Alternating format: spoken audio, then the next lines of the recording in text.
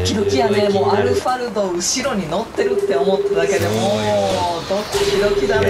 ーちょっとドキドキやけどちょっと楽しみ ちょっともう私だったらポロッとなんか電話でも落としてしまいそうよなあ。ほんまに。もうそうすると分かってがもう混乱して間違った返事しそうや。そうそうそう。そうする。え分かった。うんそうする。どっちどっちだジャックみたいな。何を言っているんだって言われるで。何を言っている、えー渋谷すみません渋谷駅前を通過すると比較的道路が空いていた。ついてきた。ついてきたこれならすぐ研究所に着きそうだった。来た。怖い。後ろ後ろの人。や。立野が電話に出るとジャックからだった。より怖く描いてある。そうね。どうした？これからする質問にイエスなら分かった。ノーならそうするで答えろ。一瞬言っている意味がわからなかったがジャックの口調から直感的に緊緊急事態を悟った。分かった。ジャックの言葉に立野は素直に従った。今そばにカナンがいるか。カナンは後部座席にいるので答えはイエスだ。分かった。そのカナンは偽物だ。もうドッキドキや。携帯を握っている手が震えた。震えそいつこそがアルファルトだ。たもう汗ぶわーやで。思わず声を発しそうになった詳しい事情を説明している暇はないが動かしようのない証拠を抑えている。とにかくすぐに戻れ。そうは言われてもにわかには信じられなかった。立野はバックミラーでカナンの姿を確認した。カナンはマリアの体をしっかりと支えている。この行動も嘘だというのか。だとしたら何のための嘘なのだ。理由は一つしかなかった。カナンがアルファルドならばその目的はただ一つ。マリアを救うふりをして研究所に入り抗ウイルス剤を手に入れるということだ。しかし待てよ。カナンはマリアの友人のはずだ。そのことは瞳の発言が証明している。カナンは姉さんの友達なんです。え本物のカナンはね。友人の顔をマリアが間違えることはないだろう。記憶喪失だって言ってたよね。うーんた多分マリアと出会う可能性があるのにカナンになりすますのは無理がある。まあ確かに。そこまで考えて立野はある事実に気づいた。まあでも気失ってるって分かってたらね。うん。サウスヒルの屋上に彼女が現れた時立野は気を失う直前マリアが脇目も振らずに階段を駆け下りていくのを見た。ああそうね。遠藤電気店の作業室に彼女が現れた時マリアは倒れて意識を失っていたカナンかこの偽から逃げてた。どうなんやろ正体を知ってて。全身から血の気が引くような感じがした。後ろにいる少女とマリアは顔を合わせていない。まあそうよね、ならば瞳は瞳とカナンは顔見知りではないのか。立野は瞳の言葉をもう一度よく思い出してみたうん、今日会うのが初めて言ってたもんね、私は今日初めて会いました。はい。カナンは姉さんの友達なんです今日初めて会ったということは瞳は本当のカナンの顔を知らなかったのかもしれない。そう考えれば辻褄が合う。ジャックが妙な返答方法を持ちかけてきたのもこの少女に気づかれないために違いない。写真ぐらい見せてもらってても変ではないけどね。ねおい立野聞こえているのか？えジャックの必死な声が耳に届いたとにかく奴に気づかれないように戻ってくるんだ。カナンがアルファルドだとしても研究所に向かうのをやめるわけにはいかない。立野は返答方法をもう一度頭の中で確認した。イエスなら分かったで。ノーならそうするだ。うん。そうする。マリアを救うことが先決ということか。分かった。きっぱりと答えうた。ーん。仕方ない私もそちらに向かっている。とにかく奴を研究所には入れるな。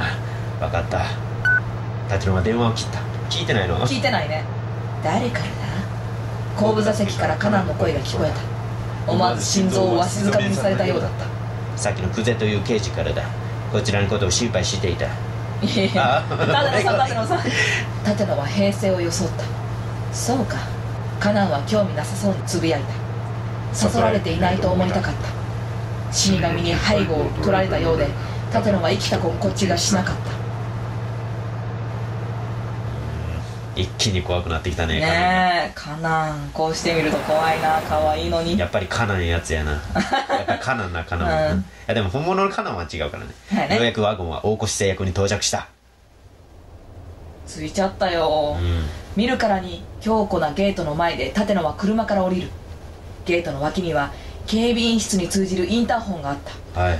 開いてほしくないよねじゃあ。所長から話が通ってるはずだ。ああちょちょち開いてほしくない？ょうんだって研究所に、まあまあいやでも立野はあ言われても行きたかったわけやろ。そうやね。うん。ちょっとな所長から話が通っているはずだ。ここを開けてくれ。どうすんねやろ。立野は大声で訴えた。大沢社長大沢社長からは何の連絡もありません。警備員は冷たく言い放ったそれに申し訳ありませんが現在研究所は封鎖状態になっています。仮に大沢社長であっても署内に入ることはできません。そんなバカな。立野は言葉を失った。前と一緒やね。うん。そこに猛スピードで1台の車がやってきた。大沢さん。大沢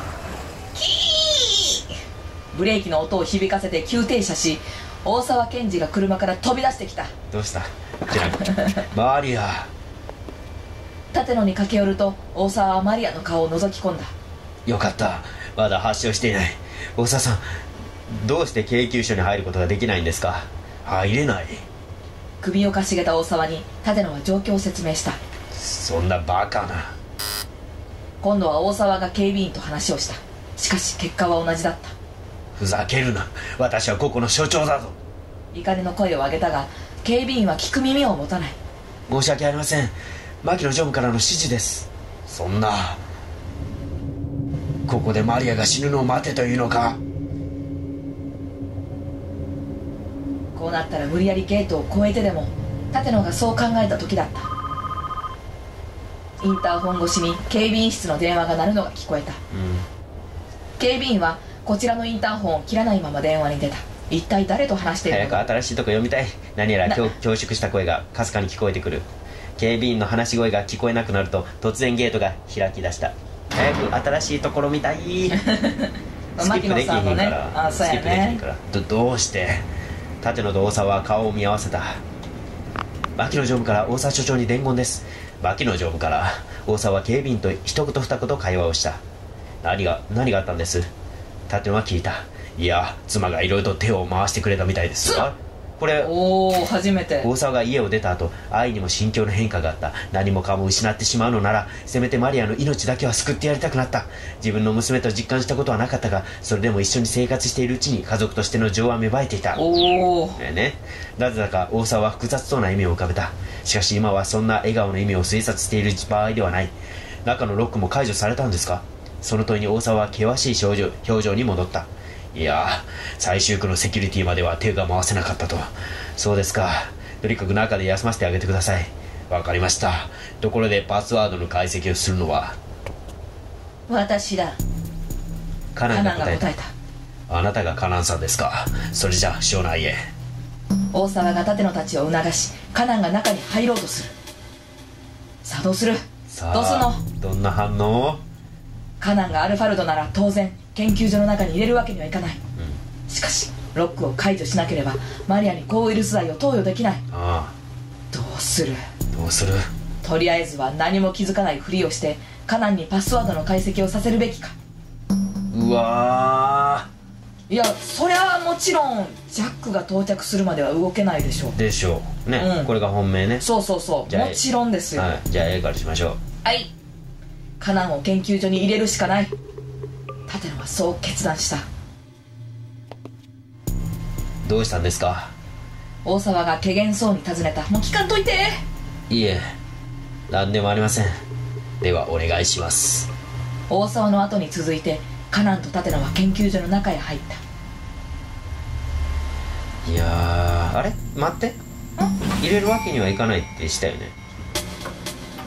あちゃうわ。えなんか入れるしかないごめんごめん。せいせいせいエレベーターが地下1階に到着するまで20秒ほどの時間がかかった。保管区域は相当深いところにあるらしい、扉が開くとまっすぐに通路が伸びている。正面に扉がありその脇には ID チェックのための装置がある。カナンは装置に近づくと警備室で借りてきたノートパソコンを床に置いた。大沢健二のパスワードが書かれた小さな紙をモニターの横に貼り付ける何本かのコードで装置とパソコンをつなぐ。これも一緒でしょ、うん。立野はホルスターに手をかけながらカナンの作業を見守った。カナンがゆっくりとキーボードを叩き始める。一つキーを押すたび PC 画面に表示される数値を確認し何かのタイミングを測っているように見えた。装置が警告音を発した。Incorrect Password 装置のディスプレイにはそう表示されている。入力が拒否されてしまったようだ。大丈夫なのだろうか立野は焦りを感じた。大沢も同様顔に不安の色をにじませている。それまで無言だったカナンが不意に口を開いた。失敗できるのは何回だ？その問いに大沢が答える。2回だったと思う。3回失敗すると役員全員の承認が下りるまで中には入れなくなる。大沢が言い終わる前にカナンは再びキーボードを叩き始めた。装置がパスワードを処理するとき誤った入力と正しい入力ではわずかに消費電力が違う処理に要する時間も微妙に異なる。それを解析し比較して。独り言のようにつぶやきながらカナンは解析作業を続けていく。再び警告音が鳴った。2回目の失敗。立野の額から汗が一筋流れた。しかしカナンは眉一つ動かさず余裕の表情を見せている。なるほどな。もう後がないというのにカナンはどこまでも冷静だった。問題ないこういう機会は初めてじゃないから。ゆっくり一つずつ PC 画面を確認しながらキーを押す。押すたびに画面上の心電図のような波形が微妙に揺らぐ。ノート PC が小さな音を発した。画面に10桁の文字列が表示されカナンがそれを読み上げた立野はそれを手帳にメモすると装置に近づき大沢と田中の2人分のパスワードを打ち込んだ。開いちゃったよ。はいこの後よこの後。この後だけが見たかった。からあのね扉が開いた。ふっとカナンが息を吐いた。大沢がマリアを担いで保管区域に入っていく。さあここよここ、うん。この後。出ろ。え？お？おおお。大沢たちの姿が見えなくなったところで立野は拳銃を抜いた。何の真似だ？カナンが眉を潜めた。いいから出ろ。銃口をカナンの顔に向ける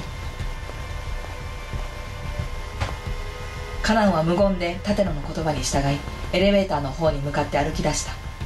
抵抗する気配はまるでなかった。パスワードでの解錠を無事に済ませたことをジャックに伝えなければ。いやていうかもう手錠とかかけた方がいいって。うん。そう思い立野は携帯電話を取り出しエレベーターに乗り込んだ。とカナンの体がスッと壁際に移動した。ほら突然後方で爆発が起こり立野はバランスを崩してエレベーターの壁面に激突した。エレベーターの扉がゆっくりと閉じ上へ向かって動き始める。衝撃で胸の骨が何本か折れたのが分かった。血が喉を逆流してきて口いっぱいに広がった。ていうかだからあんだけ素早い動きを目の当たりにしてたのに立ての。ねえ。遠のく意識を何とかつなぎながら立野は携帯電話を開いたじゃあ。これか出てくれ無言電話。あ無言電話の正体そう強く念じてボタンを押した。うわーこんなことが起こっジャックだ。どうした？おい何かあったのか？おい返事をしろ。うわ立野の耳にその声は届いていなかった。バレン。No.84 無言の警告だからね、入れたらあかんし、ーまあ、そもそもジャックに入れたらあかん言われてたし、うん。うんほんでねあの なんかけ拳銃で脅すにしてもなんかもっと警戒しよう。ねそう立野さん、一流の刑事でしょあなた、はい。本命に行きましょう、ジャックが到着するまでは動けない。立野はそう決断した